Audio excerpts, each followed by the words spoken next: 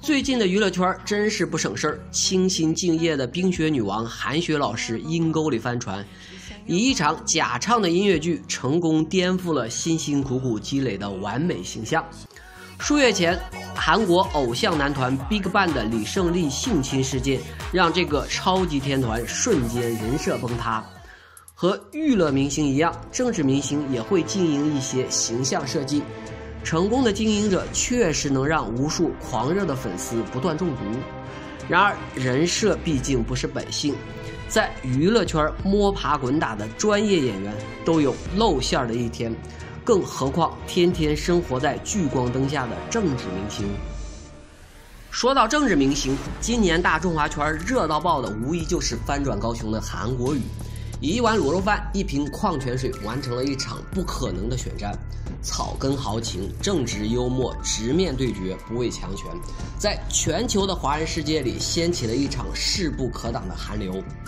韩粉的热情就像一场凶猛的森林大火，遮天蔽日，把蔡英文领导的民进党打回了原形。当选高雄市长的韩国瑜迅速出访新加坡、马来西亚和中国大陆的香港、澳门、深圳、厦门，斩获无数巨额订单。一时间，韩国瑜的人设冲上了巅峰。按照正常的剧情发展，韩国瑜一旦完成市长任期，问鼎台湾总统大位如探囊取物一般。可悲的是，此时的国民党的大佬们确实太烂了。不管是民进党如何祸害台湾，明年的大选，国民党都没有一个太阳能扶得上墙。也许是时势造英雄吧，韩粉们发起了一场拥戴韩国瑜参选总统的运动。因为从各种民调来看，只有韩国瑜才能轻易获胜。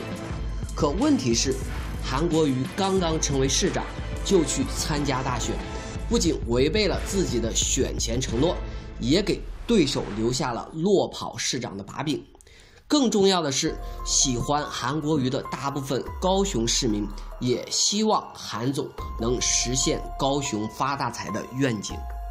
韩国瑜似乎陷入了两难，给人的感觉是他不愿意选，想好好发展高雄，但不希望一下子让狂热的粉丝寒了心。这一幕像极了宋太祖的黄袍加身。我对赵老大被迫称帝的历史一直都很怀疑，然而当我看到这一波波的推韩浪潮和韩市长的无奈，真的让我有点相信历史上的赵匡胤，也许就像现在的韩市长一样被迫承担大位，一切看起来都很完美，不断推脱参选的韩市长，终于可以名正言顺的被国民党征召成为唯一的候选人。按照台湾总统参选的陋习，候选人都要到美国参加面试，当然柱柱姐除外。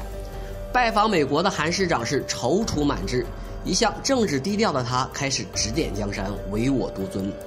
更离谱的是，韩市长为了向老美表忠心，竟然愿意把台湾的国防交给美国。换句话说，他把中国大陆当做了凯子，希望用从大陆骗来的钱来购买美国的军火。不过这些言语只是得罪了大陆的韩粉，对韩总的竞选之路似乎还没太大影响。真正撕掉韩市长最后一张遮羞布的，却是霸气总裁郭台铭。当郭总宣布希望代表国民党参加党内初选，而且郭总的民调同样可以横扫绿营，甚至击败无党籍的柯文哲，很多善良的韩粉。都认为韩市长终于不用一个人扛起国民党的重任，也不用每天都累得没时间休息。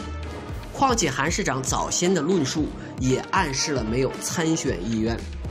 当然，如果韩市长真的参选，大部分韩粉也会表示尊重。选与不选本来就那么简单，无论哪种选择都不很完美，但世界本就不完美。韩国瑜一直给人是勇于担当的形象，岛内外媒体都在等待他的决定。然而，韩国瑜终究脱光了五彩斑斓的外衣，韩粉们不断采用网络暴力去攻击和歪曲任何不同意见者，不管这些意见是善意还是恶意。而这时候的韩总和高雄市长选举前判若两人。不再去立即指责自己网军的恶意行为，在顺我者昌，逆我者亡的氛围下，韩市长发表了骇人听闻的韩污点。没有任何证据，韩总直接痛斥某人的参选就是黑箱作业，暗示只有韩某人才名正言顺。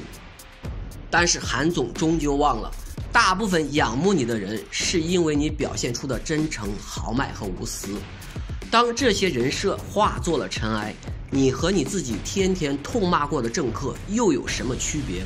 或者说，你还不如那些自私贪婪的同类。《笑傲江湖》中的左冷禅和岳不群同样不择手段，同样坏事做尽，而左某人毫不掩盖自己的小人心态，岳某人却表现得翩翩君子。相信所有的读者最不耻的就是岳不群，甚至会忽略了左冷禅的恶行。原因很简单，爱之越深，恨之越痛，期望越高，失望越大。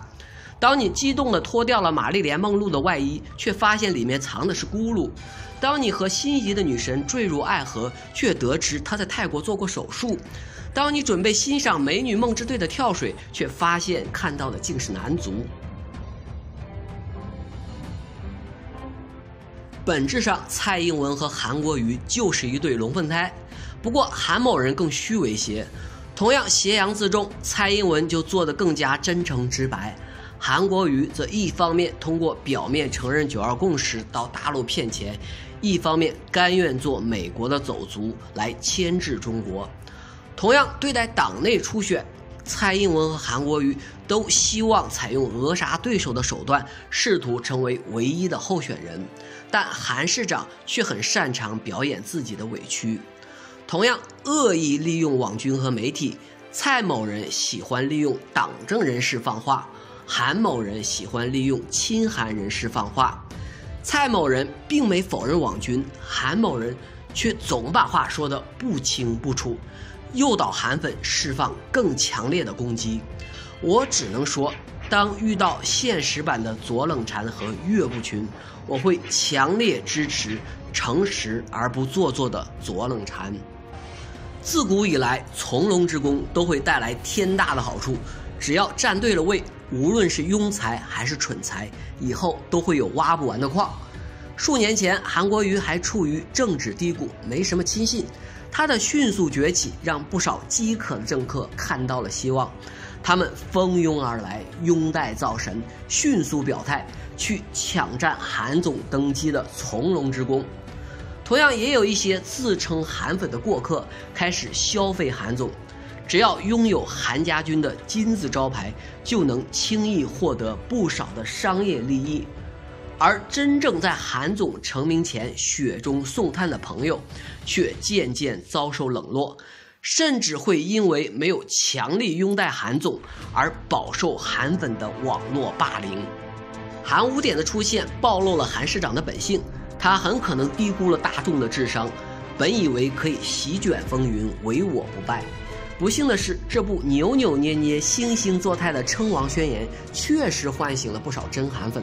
在接下来的时间，韩总或许会再次披上谎言的外衣，或许会再次指责都是假韩粉惹的祸，但更可能的是，他会继续发动猛烈的网络战和媒体战，因为那些渴望从龙的政客、媒体人和网红已经登上了韩船。跳船只会一无所有，拥戴韩总才可能冲出最终的富贵。两千多年前，萧何月下追韩信，为刘邦追到了大汉江山。但令人讽刺的是，韩信最终还是被萧何骗入宫中，遭吕后杀害。一年前，韩国瑜成功翻转高雄，让已经瘫痪的国民党重新站了起来。韩国瑜的崛起很大程度上取决于民众对传统政客的厌恶。一旦韩总撕掉面具，成为新的传统政客，国民党刚建立起的一丝信用会再次遭受海啸般的打击，因为更多的人不再相信国民党还能走出正能量的政客，无论他包装的多么完美。对国民党而言，韩市长就是那靠不住的萧何，成也韩国瑜，败也韩国瑜。人设崩盘的韩市长还能持续从大陆获取可观的订单吗？海外的韩粉们还会狂热的支持高雄农产品和来高雄旅游吗？